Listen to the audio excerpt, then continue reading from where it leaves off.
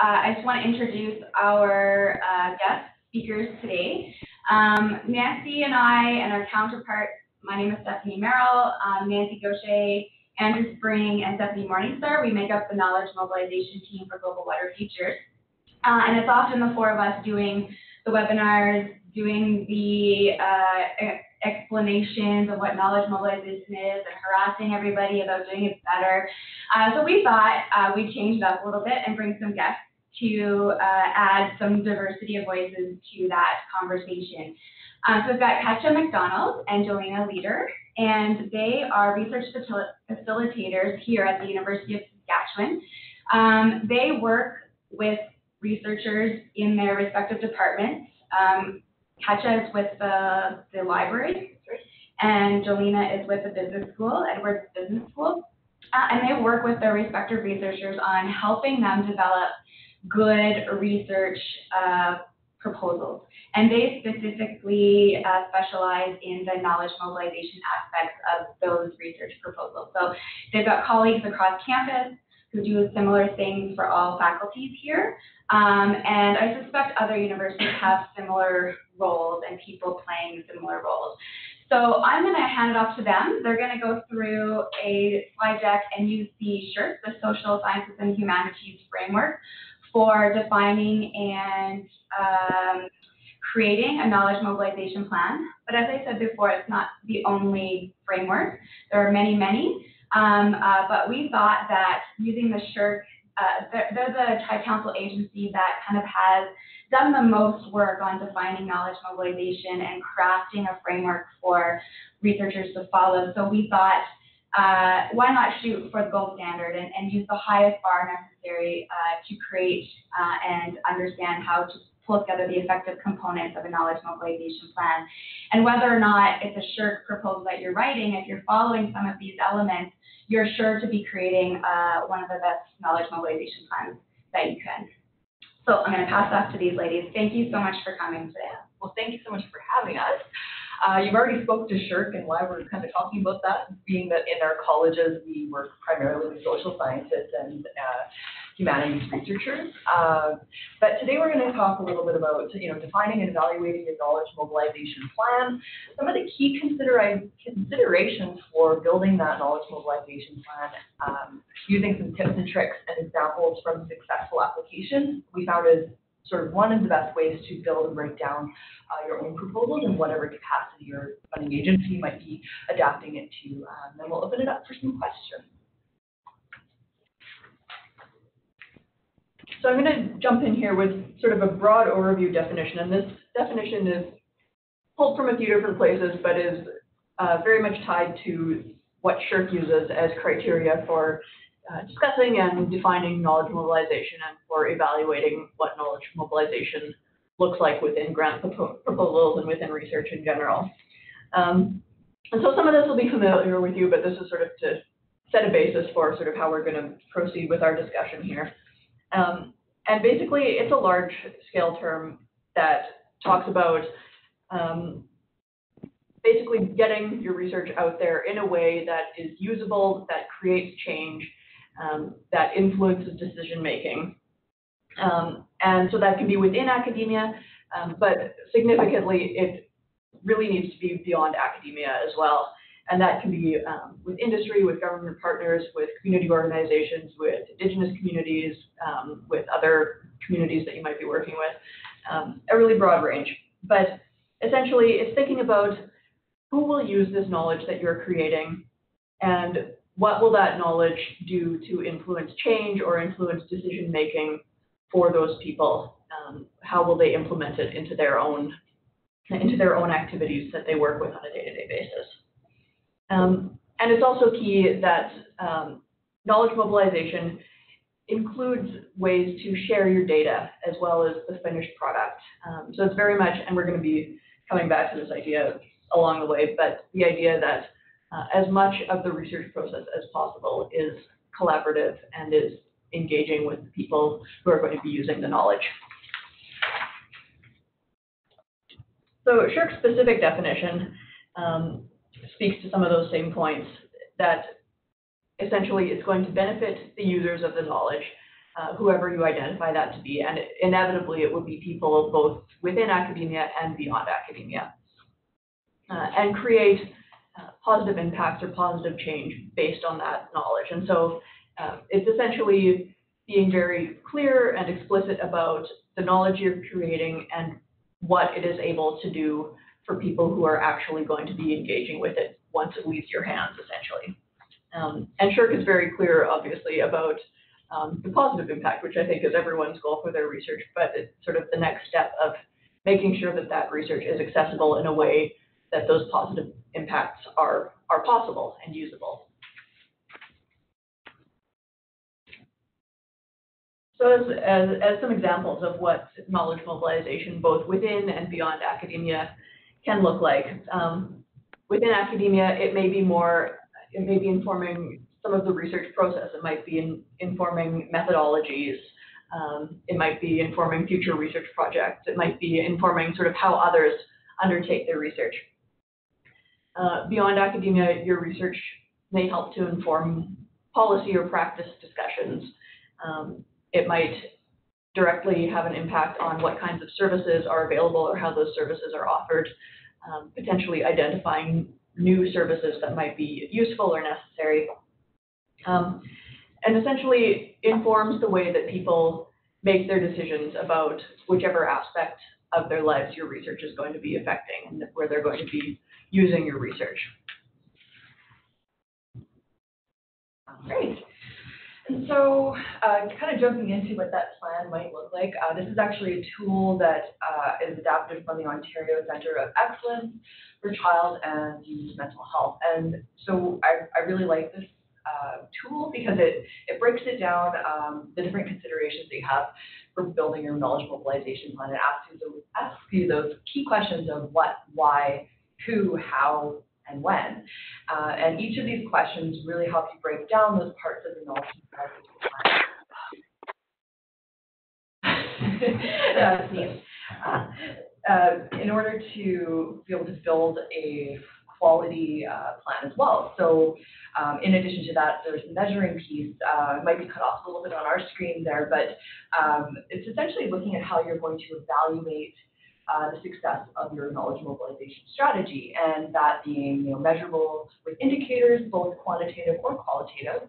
That could be as simple as um, asking your key stakeholders or partners, you know, what did we do right, what did we do wrong, maybe wrong, but uh, what, what are ways to improve it, um, and then finding Yeah, can I borrow it for? Oh, yes, for Okay, sure. Okay. Yeah, this isn't my tool, but you can easily I find it. maybe provide it, yeah, Um, I ended up recreating it for the slide because it didn't really show up quite well. but uh, yeah, I, I really like this model. Um, essentially, it's when you're asking yourself um, questions around what knowledge are you trying to mobilize and how is that connected to your, your goals and your intended outcomes? What are the key messages? Or also, conversely, your stakeholder or partners' uh, messages as well to connect together. Uh, the why is so important because you're, you're understanding why you're building this knowledge and, and then being able to understand how that will be utilized. And importantly, the next one being who. So that's identifying who are the users of the knowledge, who are your partners or champions that will then take this knowledge and mobilize it in an effective way, uh, translating that for, for say practitioners' uses, it could be within an indigenous community context. Uh, it's really identifying who are those people that are moving that knowledge. And um, connected to that is how will you collaborate with them. So when you're building a proposal, and we'll, when we jump into the examples, we're going to talk quite a bit about the technical pieces of how do you write, you know, these into your uh, plan as well and into your proposal. It's, it's really showing what are those uh, mutual benefits that are then going to be for both the researcher or the team as well as their collaborators. And so again, the process of going through these questions is really helping build out and identifying. And actually, we, we have passed out physical copies of um, a plan that we'll talk about a little bit later, but that can maybe be emailed to those that are connecting with us on uh, WebEx as well. Um, but it basically helps you break down um, and it follows some of these questions as well. Um, the when is actually a really important piece that often gets missed. So that's when you're looking at timelines. Uh, so when are these activities taking place? Um, and how will you implement them throughout that timeline? So one of the pieces with that is that oftentimes you have stakeholders, maybe it's within municipalities, with ministries, it could be First Nations communities. They all have different priorities and different activities going on in their own lives and in their own realms or worlds. Uh, and you have to be mindful of that. And part of that process is maybe consulting early on to find out when is the best time to say engage in communities or um, build in your knowledge mobilization pieces because you really want the uptake to be at the full capacity. So you don't want to plan a project meeting or an event when there's something else happening in a community. And as I mentioned before, there's measurable ways to um, address or and assess whether your strategy is, is working well. And so, again, we, we use the language of SSHRC, uh, but applicable to a variety of uh, application processes. Um, it really can be, like proposal development itself can be uh, tricky with any funding agency. Uh, with this one, they've used weighted scores, um, and that's kind of a common practice. So one of them is uh, revolving around this idea of challenge. Um, and that really looks at how, you know, what is significant about your project, what are the original components or novel pieces of research, and how KM fits into that is really how well your plan um, is able to be implemented that impacts beyond, again, as Katja had mentioned before, looking at both the impacts within and beyond uh, academia. And so it's looking at how reasonable and appropriate those methods of KM are. Uh, and oftentimes there's scores associated with this. So when you're building up your, your own proposal that maybe doesn't use these terminologies of challenge, um, it, it could just be looking at how you're mobilizing that knowledge. Um, similarly, feasibility. Essentially, this is a lot of context here. It's a quality and appropriateness of your knowledge mobilization plan. But it's really looking at, can you do this, uh, this knowledge mobilization plan? How is it built into your project that is feasible? Is your, again, going back to timelines, are you proposing to do something that can't be feasible within that timeline? Uh, and it's, again, the appropriateness of those activities. The third one is capability, uh, and this is really about looking at past experiences of the researchers or the team. Uh, oftentimes that goes back to someone's CV and looking at what has been done in the past. Has there been um, ex experience in using knowledge mobilization activities? Has there been outreach with communities, for instance?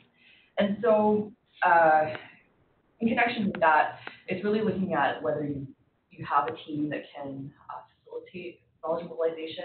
If not, it makes it even more important to outline how you're going to do that or drawing on those past experiences and best practices.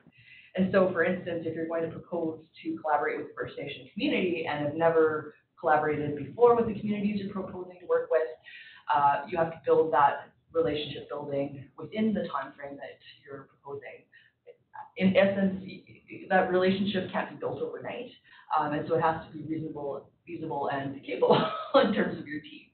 So that's sort of that piece there.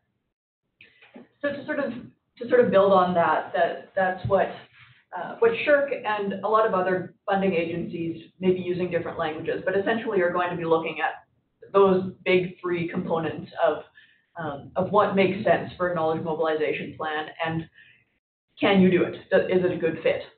Um, but what that means in practice for you and your individual research is going to vary a lot depending on your role in the project, depending on the goals of the research, um, and depending on uh, depending on your relationship with the knowledge users and the potential knowledge users that you have. Um, and so uh, to to sort of sort through these ideas again, it um, really makes a lot of sense to start early in the knowledge mobilization plan. It's not something that happens at the end of a project or as something that sort of ties it ties the project up, but it's meant to be um, a collaboration throughout the process. And so, um, depending on all of these different factors of who the knowledge users are, um, what your research essentially looks like, um, and how the research needs to fit not only within um, the community or knowledge users' expectations, but also within uh, your own research community. Um, and then building on experiences that you may have had already is going to look very different depending on um, who those knowledge users are and how you need to engage with them. And to determine that, it really is, again, uh, a conversation with potential knowledge users about what's going to work best for them and building that dialogue so that you can work together to develop something that meets both of your goals, um, in, uh, both on the research side and on the knowledge mobilization side. So thinking about who's going to use the results of the research um, and what are they going to need from you in the same way, what do you need to hear from them to effectively um, undertake the research and get the research out there in a way that has those positive mutual benefits. So we're going to be jumping into um, a few examples now to sort of give some some more concrete, I guess, weight to to some of these sort of big picture best practices that we've been talking about. And so uh, these are from recent grant applications, all various SSHRC applications that um, the principal investigators have uploaded to the U of S um, grant repository. So uh, they have permission for these to be uh, for these to be shared and discussed more broadly. Um, and basically their goal in uploading them was to assist others in developing successful grant applications. Uh, so we, uh, we're looking at a few different examples, um, all from various projects with different focus, uh, different knowledge mobilization plans. And so we're going to be looking at um, what they've obviously done successfully, and these are all successful grant proposals, so we know that that was successful. But beyond that, uh, where are there still questions? What could they improve on? Uh, what are other considerations that they maybe didn't make? So uh, this was um, an Indigenous studies proposal. Um, the principal investigator was very much in, hoping to influence policy with the research. Um, and so uh, it sort of, you can see the color-coded areas there. Um, one of its first sentences that um, is outlining the values that the researcher has uh, for his research, uh, what is motivating him to undertake this plan, and how his plan um, justifies the approach that he's taking, and vice versa. Um, and then he's very specific about what that's going to look like within the plan. So he's not just saying, this is what I want to do and this is why I want to do it, but he's also saying, um, this is very specific how I'm going to do it. And it's going to work because I've laid out these logical three steps.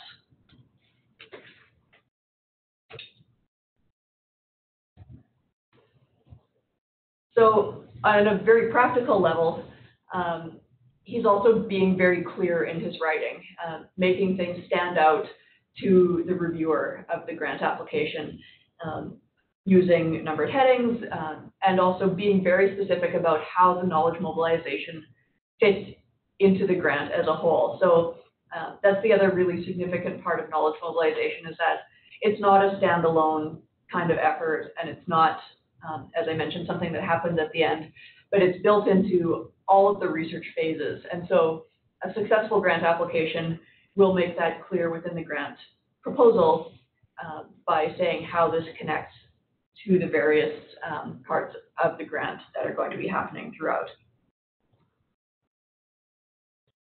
So he reiterates those goals, um, bearing in mind that reviewers are typically very busy, um, typically are reading, you know, a great big stack of applications. This is uh, a way to make it clear and make it obvious that this person has thought through the knowledge mobilization piece and is connecting it um, to very specific activities, both within his own research and beyond.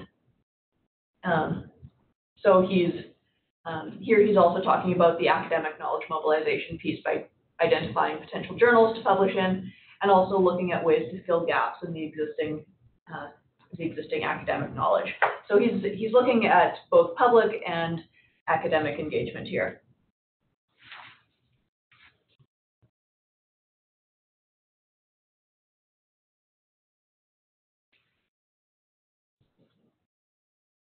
again, is very specific about what the knowledge mobilization looks like. He's uh, identified three specific activities that he's going to be undertaking, and he's numbered those so that it's clear to reviewers that that's happening. Um, and so that's, that clarity and specificity is really quite key because it indicates to the reviewers of the grant application that you have a plan and that the plan makes sense within the larger context of your research. It's beyond sort of having good intentions you have a structure for the steps that you're going to take. Um, and also justifies and explains why these specific uh, why these specific audiences and specific knowledge users are the ones he wants to target. Why the why are these the ones that make sense for his research?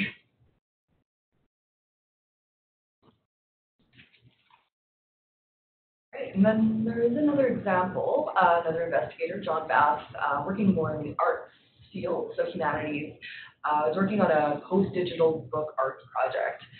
Um, what I really like about structure here is that he provides a timeline or sense of timing for each activity. So he kind of pulls that out, we've highlighted that in green uh, in the first year, and then by the end of the first year, like sort of when are these activities going to happen?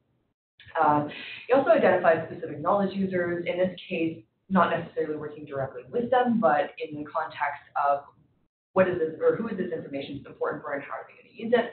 So reiterates in this case uh, identifying Canadian craft bookmakers. Uh, they also mention around creating a project website where a lot of this can be housed, um, information that then the public can also access or anyone interested in book arts. So this is a neat way of doing that. Also selecting uh, communication mediums to suit each of the audiences. And so um, at the bottom there, there's another blue uh, line that says um, around trade journals such as Book Arts Canada. So just a variety of different mediums that the information is being shared back in is one of the key pieces there.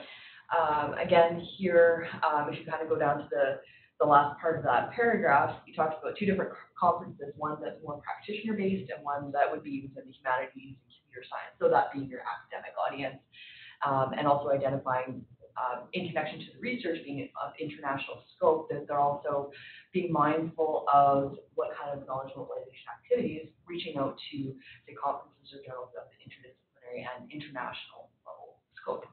so kind of bringing everything together in that way. Um, you'll see in the green, um, these are very specific to, and we say OA, but standing for open access, that these specific plans for making the data or the research available to open access, not you know hidden behind paywall structures. So, for instance, if you don't have access to a journal at university, you have to then purchase it, kind of thing. Um, with this, he's uh, talked about having a not only public talks in a library, which is publicly public gallery, which uh, people could access. Uh, also talked about how archiving, sort of in that last paragraph, uh, finally all the research outputs uh, of the project, including the code developed, are archived and made publicly available on the website. So again, really just articulating what it is and how they're going to be doing it, um, justifying why this is important are all for the plan.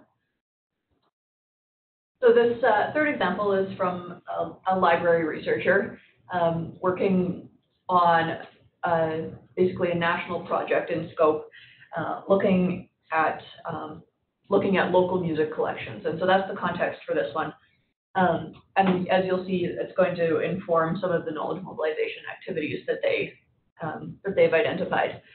Um, so again, being very clear and specific about the goal of the knowledge mobilization plan, um, what what they want as the outcome of the research to be, or what they're what they want and expect the outcome of the research to be for knowledge users not only for their own work, but for knowledge users as well. Um, and they're very, uh, very focused on creating dialogue and creating knowledge exchange. And so um, that fits very nicely within these knowledge mobilization best practices as a practice that um, keeps in close contact with knowledge users and potential knowledge users to, uh, to understand what they're going to need from your research in order to be able to implement it um, and to gain benefit from it. And so this is a plan that identifies that very specifically. Um, again, they've specifically identified the audiences that they want to reach. Um, it's beyond we want to get our research out there, and it's beyond saying we hope a large number of people will access the research, but they're identifying who these people will, are likely to be and what they're going to be able to take away from it. And again, they're providing those time frames, a timeline for those activities so that um, they have benchmarks throughout the project, and that's so that they can also go back to knowledge users and and say this is where we're at, here's where we are, this is what we're hoping to do in the next year. Um, does that work with you, and does that make sense for what your goals are from this research?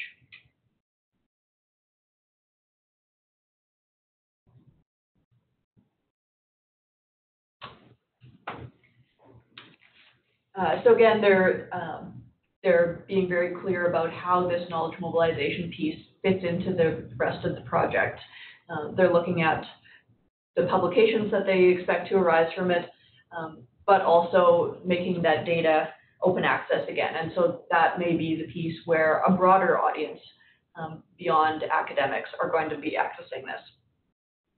Um, so looking at these specific timelines, specific dates even, so that they have a benchmark not only for themselves, but also for the people who are going to be using this knowledge at the end.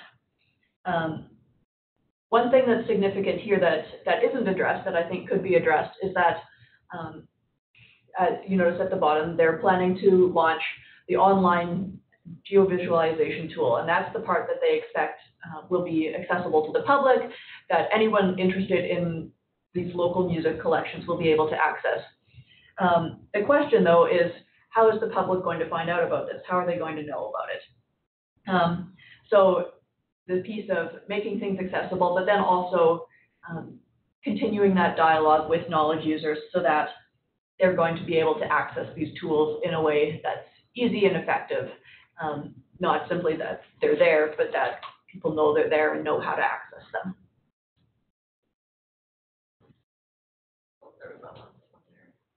Oh, yeah, You've already talked. yeah, sort of talked about that, jump gun.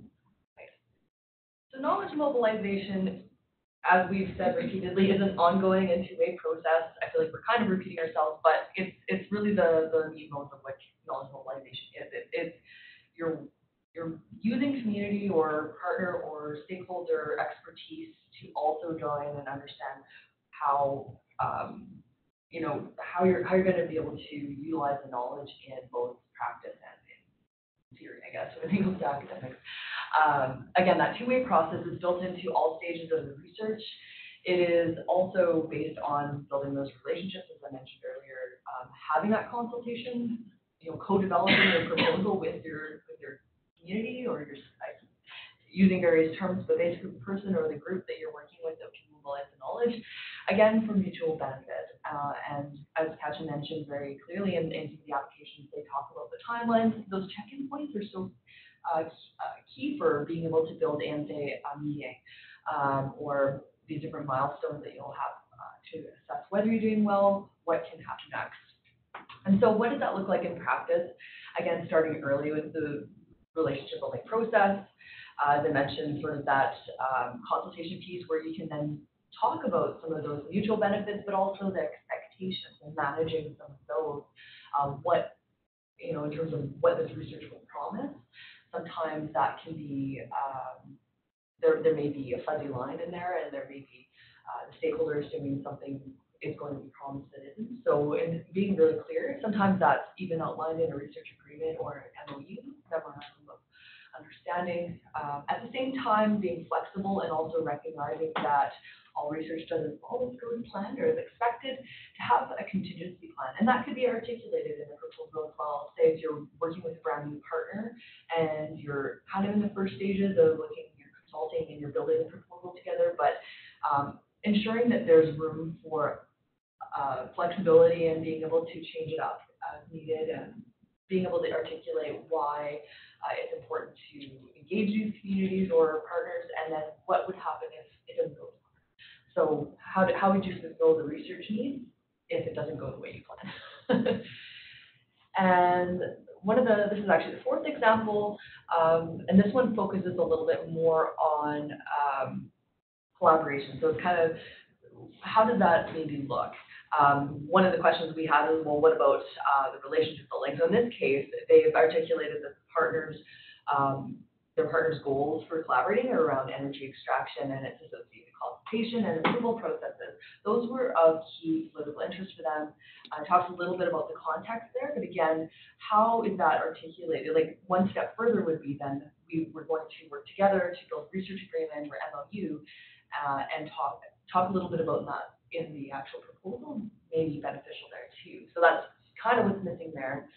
Um, and then at the same time in the green here, um, acknowledging partners' knowledge and experience in contributing to the work. So the communities are as your experts kind of approach uh, that it's that two-way dialogue. Um, your research experts, but there's also community experts in those ways too.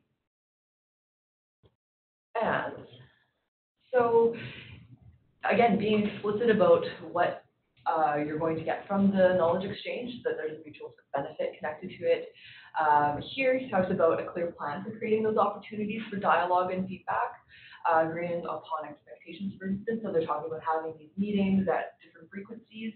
Uh, this is also where the expectations, as I mentioned before, can be built in. So this is kind of a good example of where they talk about um, when they're check-ins and meetings. Uh, partners, again, have input into the research direction. So this, uh, in the purple here, they're talking about uh, how the partner representatives will be on steering committees. So like building in those mechanisms that they're able to give direct feedback, but not only that, direction and decision making in the research process. And one of the questions we have is how will the research team then incorporate this? One of it opposes exactly what they're trying to do, but uh, um, say with the research uh, approach that they're going to take, but it actually needs to be done How will they incorporate the feedback that they're getting? If the community says, actually, no, we don't want to research this question, it's a tangential related question that's more important to us. How do you then address that? So sort of zooming back out, uh, we've looked at those proposals and looked at some specific ways of, of what, uh, what successful knowledge mobilization plans and proposals have done well. Um, zooming back out, what can we sort of distill from that? Um, and I think, um, you've already heard us say most of these things several times now, but, um, identifying knowledge users and audiences. So not just people who are going to hear the research or hear about it, but people who are going to be the ones using it and implementing that knowledge to create some kind of change or decision making. Um, and so identifying, but also engaging with them directly so that you create that dialogue um, and you create that ongoing conversation that makes your research um, as usable um, and as useful as possible. Um, within the context of a grant application, very important to justify the approaches that you're taking, um, the tools and resources that you need to undertake those activities. Um, so again, that uh, that comes back to the ongoing dialogue with knowledge users, um, being able to explain why the knowledge mobilization plan that you've made makes sense for these people and for your research in these ways. Um, building that knowledge mobilization piece into the entirety of your research and into the entirety of your grant proposal. So rather than having it be sort of a standalone piece, um, it connects to all, all of the ways that you're doing your research from methodologies, your research design, um, it built into the budget, of course, um, built into your larger research goals. It's something that's, um, that's quite integrated throughout. Um, on a very practical level, when you're writing this up in a grant application, just making it readable, making the important parts stand out to someone who is reading a bajillion grant applications in, you know, a very condensed span of time. Um, just those sort of practical pieces of how are you communicating this to the people who are ultimately going to give you funding to undertake it. And then including that sense of timing, which sort of connects to all of the other points as well.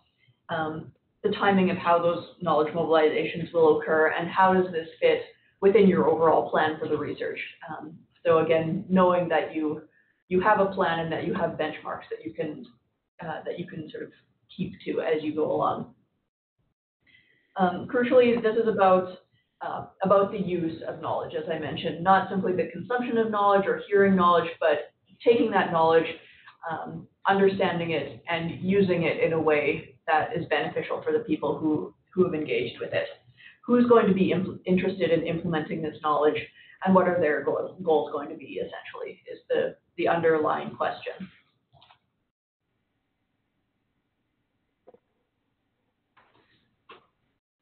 Go ahead. Yeah. so we have the physical copies here, but also just to show uh, those who are connecting in on WebEx, uh, sort of a tool that can be used to then break out some of the strategy there. So a table that has asks, you know, who are those knowledge users? What is the strategy that you're going to take? So there's some questions aligned there. How will uh, you get your message across?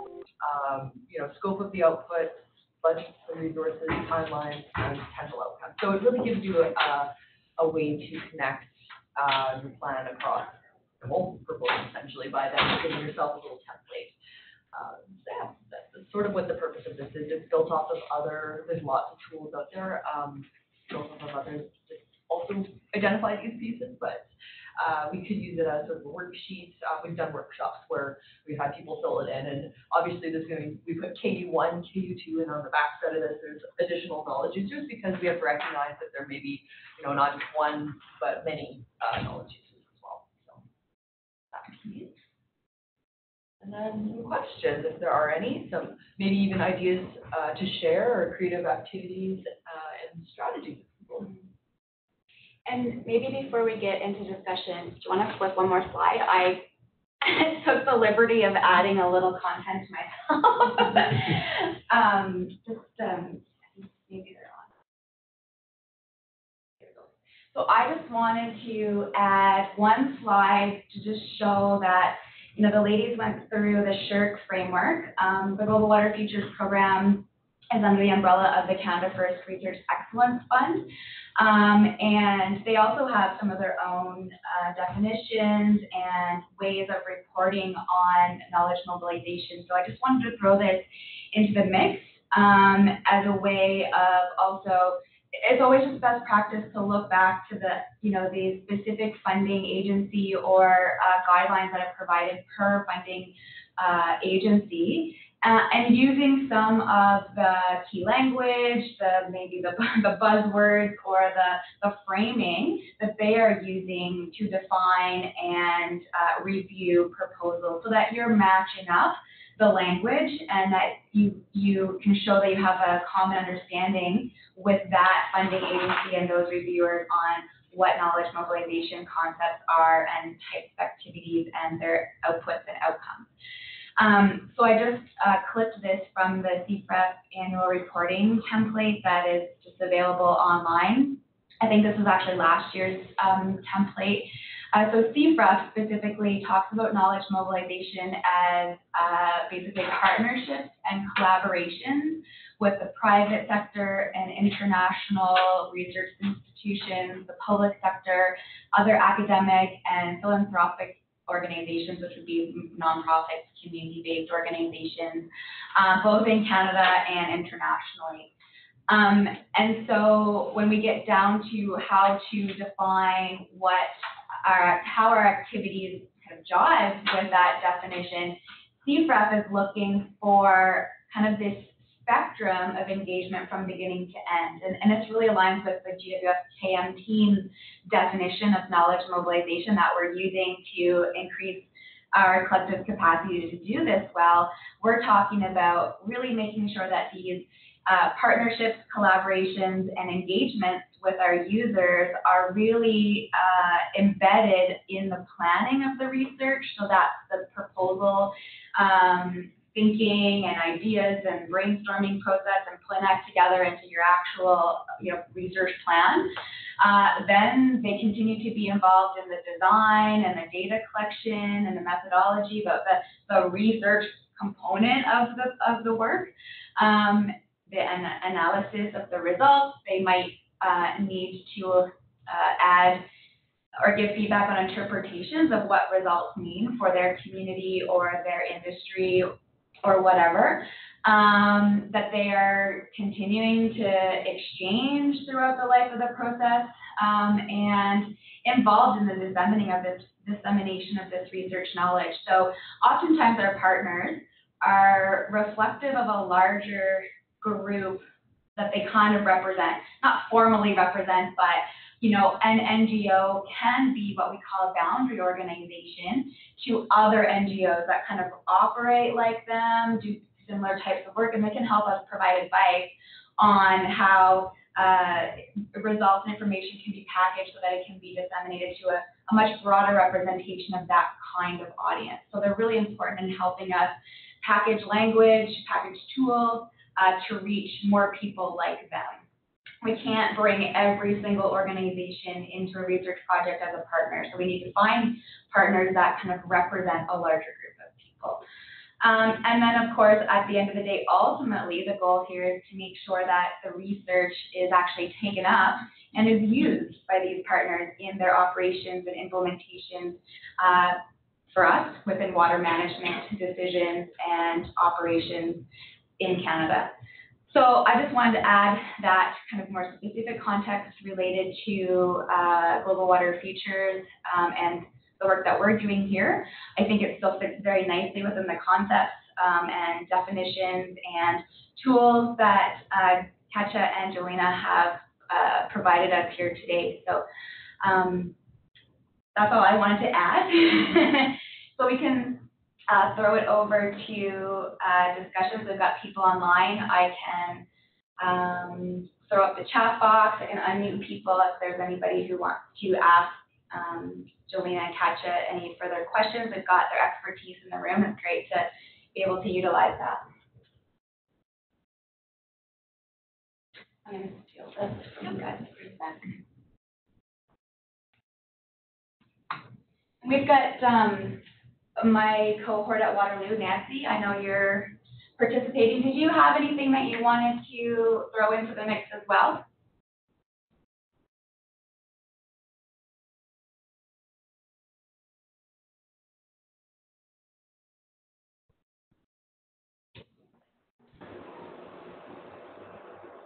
I've actually unmuted everybody, just so you're aware.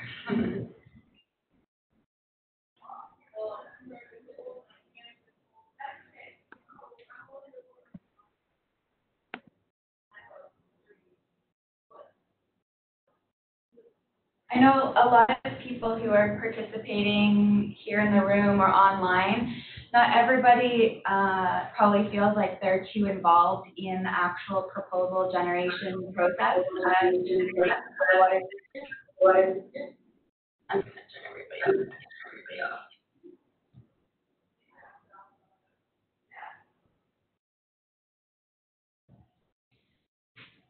Um, and, you know, we're well aware of that, that, um, you know, maybe the, the researchers who are writing proposals aren't necessarily the ones in the room trying to learn a little bit more about how to do it well.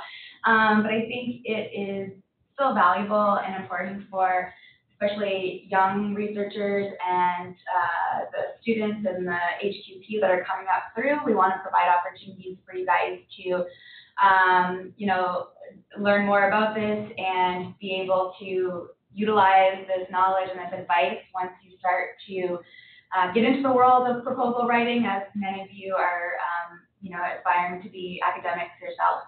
Um, and so it's just good practice to, uh, to participate in these things. So appreciate you joining, even if you feel like you don't have a lot of control in the current proposal writing opportunities that uh, Global Water Futures is going through.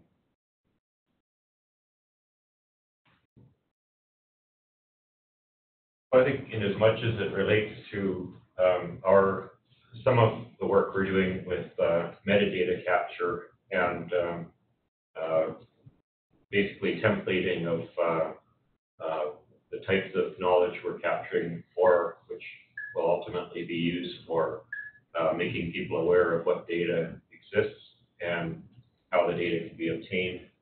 Um, it's just, it's kind of fortuitous. We, we've been working on data templates with the other universities uh, today, as a matter of fact. Um, and uh, we were just going over it and making sure that we haven't missed anything. And um, I wouldn't be surprised if you someday get a call from me um, in desperation. And I'd like you to just check this template over and uh, see if there's anything that's preventing it from being useful from a knowledge mobilization perspective. And I know that there's a lot of overlap with knowledge mobilization and our original capture of uh, metadata uh, in our in our work. But I'm hoping that we're doing that correctly, and this would be another sanity check on that. Well, and we talked a little bit about like within academia knowledge mobilization as well too. So, you know, I think if you're trying to collaborate outside uh, academia with users and partners, the principles of that can apply to working with other human beings in other contexts, collaborations. Um, this is a big research program with lots of moving parts and lots of people, um, you know, so we can adopt some of these best practices when we're working with each other as well. Yeah, yeah, I, I, I do hope that this uh, metadata collected will be used outside of um, GWF by other institutions and partners and uh, future partners. I'm, I'm hoping that it doesn't just, in 2022, that's a wrap. Um, You're to destroy that knowledge immediately. No, that's not how it's gonna work. I'm hoping that it'll continue on. And the legacy of this knowledge collection will be properly uh, um, cataloged so that it can be found. If it isn't known, in a way it was never done. Mhm.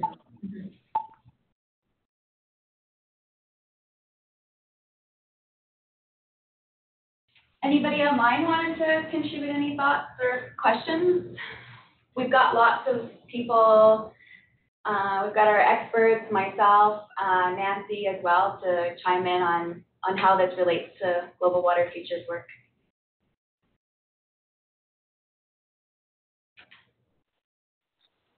Can you guys-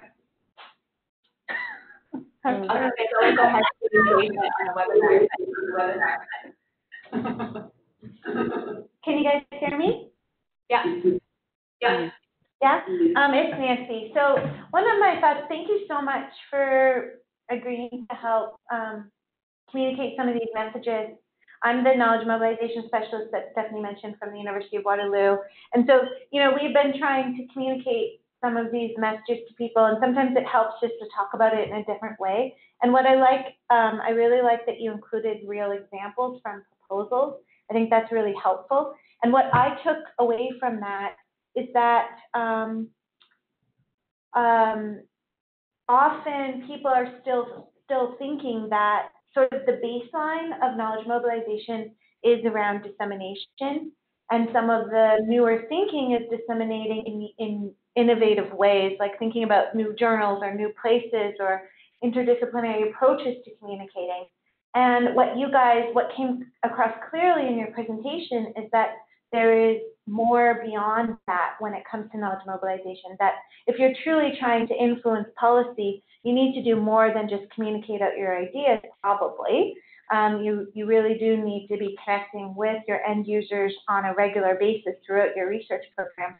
And so I like that um, last example that you provided as well, because I think that we are starting to get to that place where you're really being able to explain um, knowledge exchange and that two-way information, um, ideas coming from your end users being incorporated into your research process, and then thinking through what that means moving forward.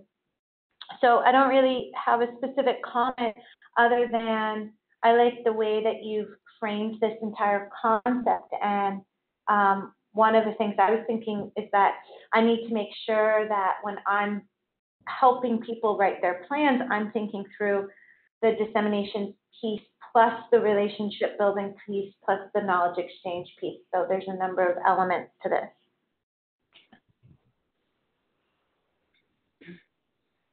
Thank you for that. Thank you for that. I have a um, specific example, I guess, um, um, engaging, oh, we're gonna get feedback, yeah. I'm just gonna, I'm just gonna mute Nancy. Mute Nancy. There we go. Uh, one of the examples that I can kind of share from my own experience and research has been working with communities and indigenous communities in northern Saskatchewan in particular. And we used a knowledge mobilization plan that was integrated into the actual creation of a new research method, essentially, building off of uh, using um, video, participatory video research and photo voice. And so what we had done and learned, uh, kind of a long story made short, but uh, was work with youth in the communities and we videotaped and, you know, asked them, you know, actually it was a co, uh, of knowledge between the, the youth themselves. So we had them video and ask each other questions rather than us asking questions. So it was kind of unique in that way. But what the purpose of that was, was to create a video that talked about what they like most about their community and what they like to see next. Um, and then that video was actually used uh, to showcase what the youth were talking about to elders and adults within the community. And what that video served was a way of showing that the youth were actually thinking about the same things that the adults were, and they had no idea um, they were talking or thinking about culture in the way that they were language, re- restoration, things like that. Whereas they just weren't talking uh, in that way until they saw the voices of the youth on the videos. And it was done in a very candid way where they're talking to each other, kind of playing around. Um, and then really what shined was the fact that they um, were thinking about the same things that the adults were in the community and helped repair some of the uh, certain things were happening in community at the time. So it was used not only as a method and approach, but it was sort of that dissemination from the voices of the community members. So it was a really unique way of doing that. Um, and I've been involved in other projects for sure. Um, even in my own dissertation work right now, one of the things that I've done, I've collaborated uh, with uh, the Northern Intertribal Health Authority as well as tele- regional telehealth coordinator. So my project is based around um, looking at telehealth in the north and perspectives on technology. And so um, the big piece there that I heard from my knowledge users and collaborators was you want to understand what the strengths and barriers are of telehealth in the north. And so anytime I talk to a participant or a community member, I ask them, how do you want this information provided back? And there was a range of, of things from, you know, coming in and making a presentation to, we want a report, but not a report. We want like a visual, like something that's almost like a pamphlet, was kind of what it came out at the end. And so I actually have a physical copy, so I don't know if you'll be able to see online, probably not, but I did bring it along because it is quite visual. It's not your typical report, it's like a little pamphlet. And of course, there's recommendations and lots of stuff at the beginning, but it's really quite a visual, has the voices, the quotes from people from the project, some of the best practices and community insights. Again, very visual, accessible, not very long. Uh, and it ended up, in terms of engaging policy, First Nations and the Inuit Health Branch reached out and said, we want this in every northern community, not just the four communities we work with. So that was a piece that, and this was again, um, sent to my collaborators, the knowledge users, the e-health advisors, um, telehealth coordinators who are the ones that work with the partner communities and said, you know, we agree, do something that obviously the participants were saying, which was a visual community report. Um, and then they gave feedback on it before it even went back to the community. So it was such a like intertwined co-creation of knowledge in, in a lot of ways that it was very, it was for me maybe small little success, but it was successful in the knowledge I was as a student trying to accomplish as well. Those are just some other examples, I guess. So, No, that's a great example, and I think we're always looking for those tangible, you know, specifics on what did the out, output and outcomes look like, um, and, uh, and, and how can, we can only do this better if we share the successes of our colleagues and our, our peers, right? So for, is that available online anywhere that people I can? I can send it for sure, yes. That'd be Um, great. I have a few, only a couple of these copies, but yeah. That'd be great, thanks. Um, I had a, I don't know, Nancy, if Harriet is still in the room, and I can pick on her for a second, but Jared was here. Jared Wolf is the project manager of the Gray Water Project.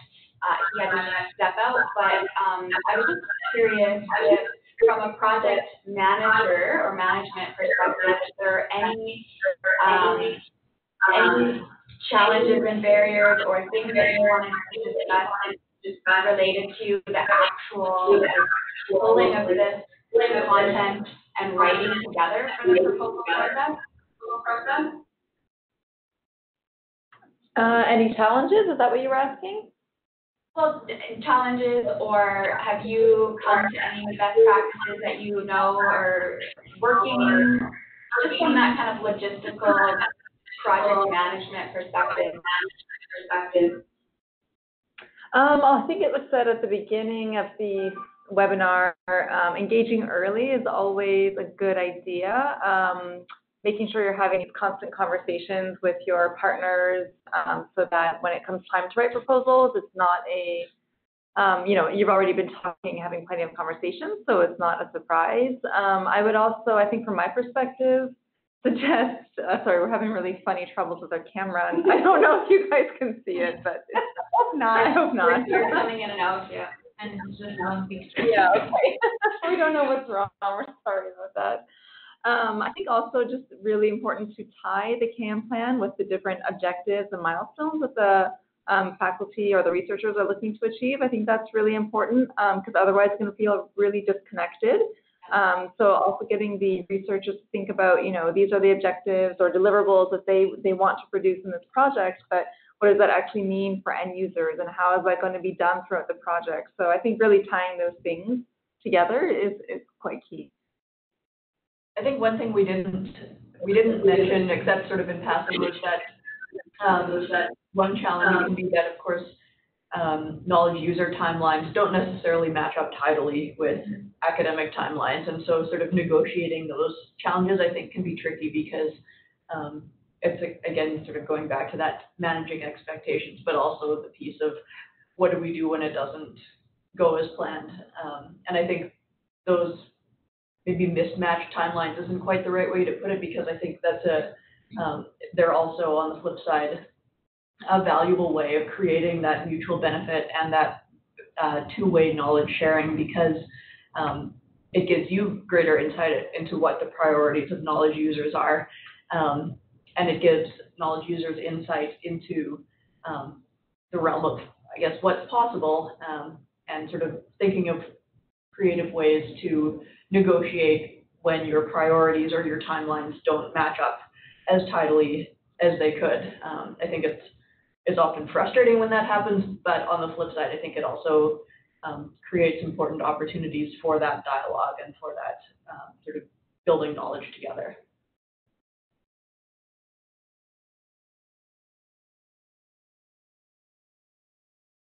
Anybody else online wanted to say anything that you haven't had a chance to yet? Let's check the chat.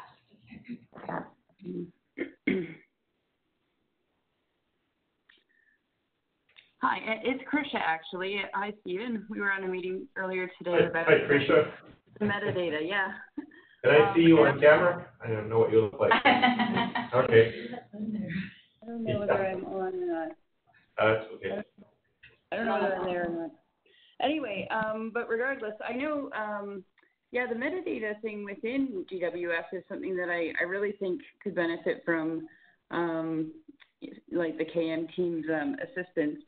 And I know I've been in touch with Stephanie about the data inventory and it's, um, you know, we get input about the need for the data inventory from other institutions, from various researchers, and I think that communication within our organization um, is really important because we are really trying to bring, you know, all of these stakeholders in GWF together, and um, so I look forward to working um, together with Stephen and with Stephanie and and uh, the group, sort of to see if we can kind of bridge some of these gaps. So thanks very much for the presentation. It's, it's fun to hear that the knowledge mobilization concept can infiltrate other core teams of global water future. We're gonna take over the world. I do like that comment, by the way, about social media. That, that is something I, again, yet for the thirtieth time, didn't think about. Um, that's an excellent, um, use of, an appropriate use of social media. And some of these studies, uh, important ones like that, really benefit from, uh, proper handling of social media.